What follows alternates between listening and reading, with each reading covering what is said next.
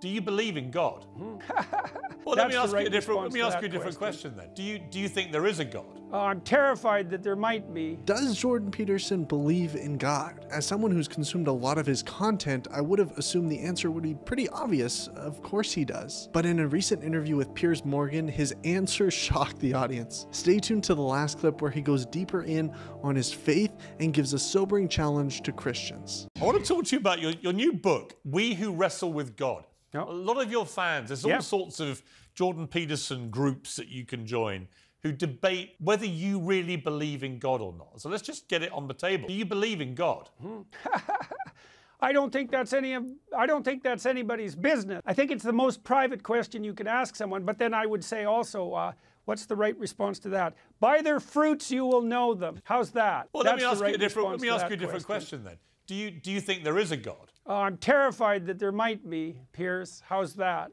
Jordan says you will know them by their fruits. What does he mean? He's taking this phrase from Matthew 7:16 where it's talking about being aware of false prophets. It means don't just listen to what somebody's saying about themselves, but see how they act, and that will reveal who they truly are and what they truly believe. So Jordan says, "Stop asking me this question and just see how I live my life. That will reveal the answer." And that makes sense in a lot of ways. Then he goes on to say that he's terrified that there might be a God. And while this provides a good chuckle to all those around, this is a sobering reality. And Peterson is aware of that. Think about it. If there is a God, that means he is sovereign, you're not. That means it's his story, not yours. It means it's his morality, not yours. That you're accountable to him and that we've all fallen short because we none of us have kept his standard and that leaves us guilty before a good and holy God. That is a terrifying thought. The Bible does say that God will not be mocked. And although he holds back his wrath for a season, one day there will be judgment. And the Bible also says that we all know God exists, but we suppress that truth in our unrighteousness. The reality of God is a terrifying truth for those who have yet to know him. Before we get back into the video and get to the next clip, I just want to encourage you to like this video and subscribe because I'm putting out new videos all the time. This channel is supported by my friends on Patreon. This is my full-time gig, guys. This is how I provide for my family. This is my heart. This is my mission to equip people to follow Jesus daily. If that's a mission you want to get behind and support me in what I'm doing, I'd encourage you to click the link in my description and sign up to Patreon today. Now, on to the video. And I, you know, I'm not trying to be a smartass when I'm making that comment either. Like they say, it's an old, it's an Old Testament saying, I believe that the fear of God is the beginning of wisdom, and that's actually that is actually about as true a statement as you could manage in such a short phrase. And you know, people have congratulated me. I was at the Buckley Institute last night. They were congratulating me on my courage, and I think, and I said this last night. It's like you guys don't understand. It has nothing to do with courage. I'm just afraid of different things than the people who lie. Many people these days approach God with a consumeristic mentality. What can I get from God? How can God improve my life?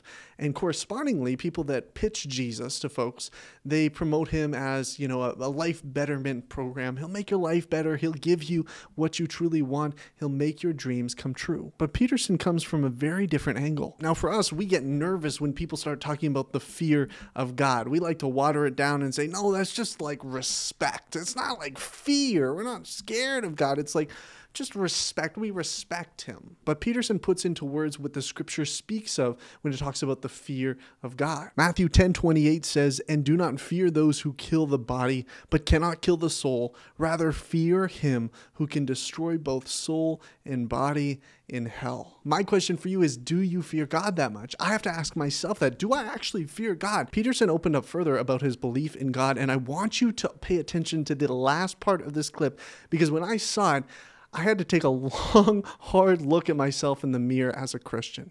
Is what you believe what you say or what you act out? Now, you know, I would say to some degree it's both, but if push comes to shove, as far as I'm concerned, what you believe is what you act out, not what you say. And then, you know, and if you're an integrated person, then what you act out and what you say are the same thing, and then you're a person whose word can be trusted, right? Because what you say and what you do are isomorphic, they're the same thing. But it, belief is instantiated in action. So I, I, I have also suggested that I act as if I believe in God, or to the best of my ability. And uh, people aren't very happy with that either. But let's say you say you do believe in God. Say, I believe in God. It's like, okay, well, that's hypothetically pretty impressive, I would say. It's like you believe that there's a divine power that oversees everything, that is fundamentally ethical, that's watching everything you do, and, um, and you believe that. And so, what effect does that have on your behavior if, if you believe it? Are you all in on your beliefs? Are you sacrificing everything to this transcendent entity that you proclaim belief in? Have you cleansed yourself of all your sin, let's say? Are you making all the sacrifices that you need to make? Like, have you taken the mote out of your eye? I say I'm a Christian, but do I actually live like it? Am I all in? Buckle down with me for a second because I want you to take this seriously. You might have grown up in church. Maybe your your parents are Christians. Maybe you went, walked down an aisle and said a prayer at a youth conference. I want you to be honest with yourself. Do you know God? Do you know God? Don't dismiss this. Do you know God? Knowing about Him isn't the same thing as knowing Him. I think of Ray Comfort's analogy analogy. You're in a plane ready to skydive and you have a parachute right next to you. Knowing that the parachute exists and that it's there and that it has the ability to save you isn't the same thing as putting it on and jumping out. You can understand that Jesus is a Savior. You can understand that God exists. You can understand that Jesus died on the cross for your sins. But until you put your faith in Him, until you trust in Him, you're not putting on the parachute.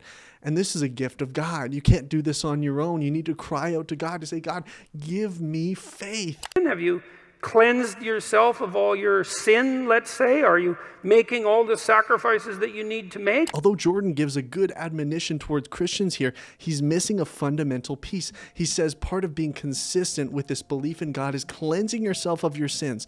But the truth is, none of us can do this. It's an impossible request for us to rid ourselves of all the iniquity and sinfulness within us. It is only through Jesus and his payment on our behalf that we can be saved. True consistency here, here is not perfection, but rather submitting ourselves wholly to the God who saved us. I pray that Jordan Peterson would come to recognize that and that you would too. God bless, and I'll see you next time.